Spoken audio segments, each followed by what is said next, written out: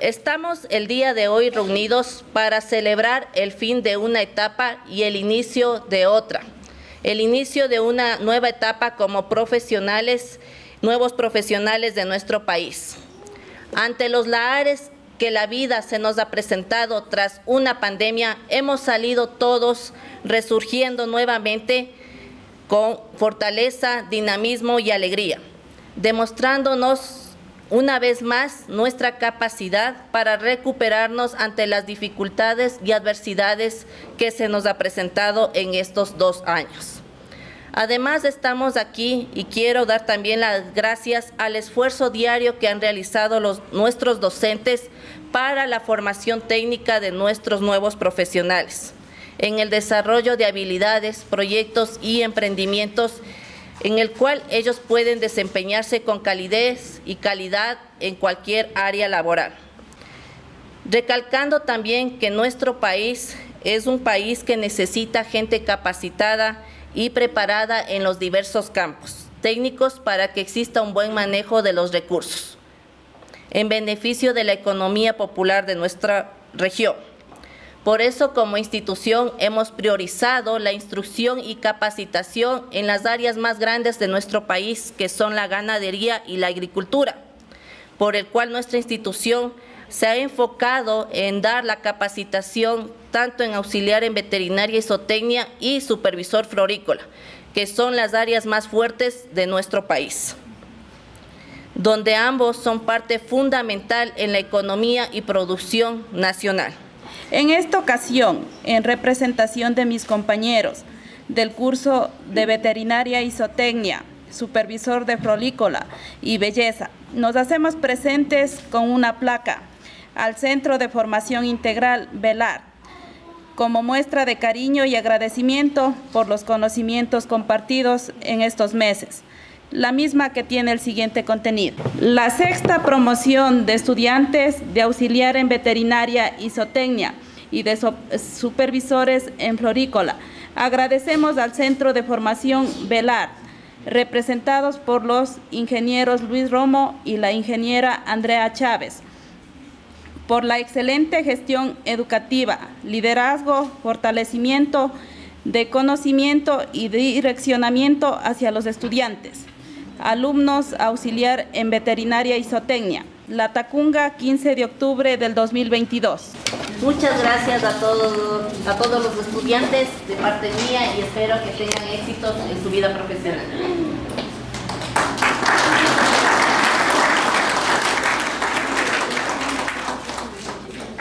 Bueno, quisiera agradecer primeramente al Centro de Formación eh, Bellegar por abrirnos las puertas y permitirnos adquirir bastantes, bastantes conocimientos que nos servirá para nuestra vida profesional.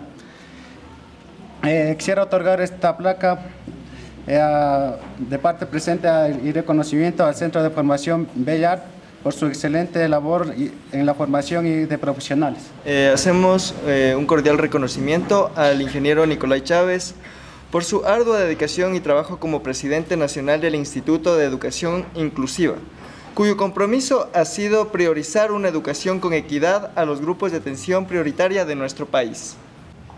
Para mí es bastante motivante recibir este premio que por lo general las cosas, las actividades que lo hago no va en función de buscar este tipo de premios, sino más bien en función de buscar una inclusión educativa con dignidad y buscar una inserción en el mercado laboral con respeto. Hemos trajinado muchísimo por el Ejecutivo, por cada uno de los gobiernos de turno, así como también por la Asamblea Nacional. Y esta semana es crucial. ¿Por qué es crucial? Porque hemos pedido desde la Asociación Nacional que se declare el Día Nacional de la Educación de Jóvenes y Adultos 5 millones 600 mil ecuatorianos fuera del sistema educativo no es chiste. Más de 200 mil ecuatorianos bachilleres que se quedan sin, sin estudios superiores tampoco es chiste. Lo recibo de corazón, lo recibo y gracias a eh, mis estimados directivos de Velar, lo recibo de corazón y esta semana, a más de pedir la declaración del Día Nacional de Educación de Jóvenes y Adultos para que a ningún gobierno de turno se le olvide. Y también hemos pedido una reforma a la ley de tránsito. Entonces, hemos hecho tres proyectos, una semana crucial. Dios le pague y ahora sí quiero pedir un fuerte aplauso para los verdaderos héroes de esta jornada. Nuestra institución se ha destacado por reconocer el trabajo de cada uno de los docentes y principalmente aquellos docentes con larga trayectoria que han formado y han sido líderes, han sido parte de la formación de nuestros estudiantes y también han sido parte esencial para que ellos cumplan sus metas, sus sueños, sus objetivos. Por eso esta tarde quiero reconocer a tres grandes docentes, aunque todos se los merecen. Pero, como les mencionaba, la trayectoria es lo que hoy les hace un mérito laboral en esta tarde. Al doctor y médico soctenista Milton Escobar, quien ha dirigido durante un buen tiempo a los grupos de veterinaria y zootecnia y quien con su paciencia, perseverancia y esfuerzo ha permitido que varios grupos salgan adelante. Continuamos también con el reconocimiento a otra de las grandes doctoras que con su carisma, alegría y gran liderazgo también ha demostrado ser una excelente profesional. Doctora Estefanía, le felicito. Eh, ha dirigido grupos grandes y al mismo tiempo grupos que tal vez entraron sin tanta ilusión y que gracias a su perseverancia, a su metodología, a su psicología, porque todos los aquí los docentes también tienen que aplicar la parte psicológica, ha avanzado que ellos resurjan y vean la vida, la, prospección de la carrera de otra forma.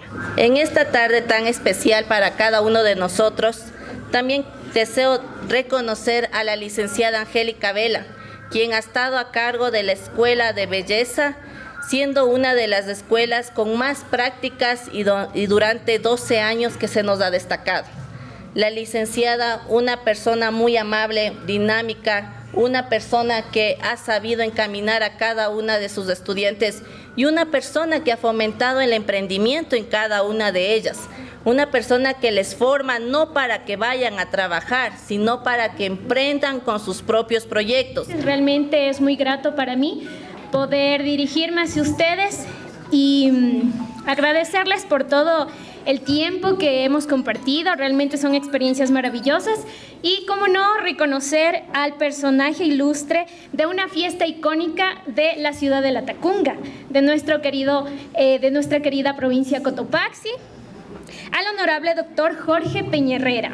Un abrazo inmenso y felicitaciones a todos los quienes se gradúan en esta promoción. Una felicitación especial para toda la familia, porque detrás de todos ustedes hay personas que están apoyándoles, hay personas que creen en ustedes, pero fundamentalmente a ustedes, porque ustedes son los que decidieron progresar y no quedarse en el lugar que estaban, sino subir un peldaño más de los tantos que todavía les faltan. Bien se decía que esta es una ceremonia no solo de graduación, se llama realmente una ceremonia de iniciación, porque habiendo culminado, subido a la punta de una montaña, aún nos vamos a dar cuenta que existen muchos escalones por ascender. Esta auxiliaría, esta forma de, eh, enfrentar la vida, va a servirles de muchísimo. Sin embargo, hay más metas que cumplir. Y les invito yo a continuar haciéndolo. La vida es hermosa, la vida nos lleva de retos. Cuando subimos a una montaña no subimos en un ascensor ni en gradas eléctricas. Subimos sufriendo, parando, retrocediendo, sentándonos, cayéndonos, pero al final continuamos y cumplimos los objetivos. Muchas gracias por haberme tomado en cuenta en este apretado itinerario que se me ha impuesto. No he dejado ni he querido dejar pasar esta oportunidad de venir acá y de compartir con ustedes y estar contento por lo que ustedes van haciendo. Cuando se dan los, las intervenciones en las diferentes instituciones.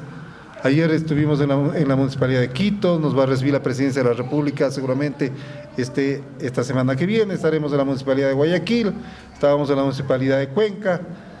Todo el mundo dice al final, con la Mama Negra no solamente es una fiesta cultural, es una fiesta de identidad, es una fiesta adicionalmente de oportunidades.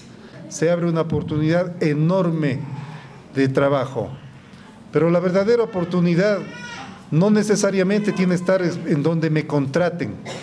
La iniciativa propia de ustedes de generar una microempresa, de generar un emprendimiento donde ustedes utilicen lo que ahora han aprendido y lo que van a poner en práctica, realmente no se queden, tómenlo como una carrera liberal. No estén dependiendo de que alguien me contrate. Si se le contrata y se busca un trabajo en buena hora. Si no, emprendo. Y empezamos, y muchos de los emprendimientos, muchas de las grandes industrias que están ahí han empezado desde cero. Un agradecimiento nuevamente por esta bondad que no me la esperaba. En esta figura está sintetizado la identidad de los latacungueños y con mucha humildad he asumido esta representación. Felicitaciones nuevamente y espero vernos próximamente ya en la calle, en las empresas de ustedes, en sus emprendimientos y darnos un abrazo fraterno. Muchas gracias.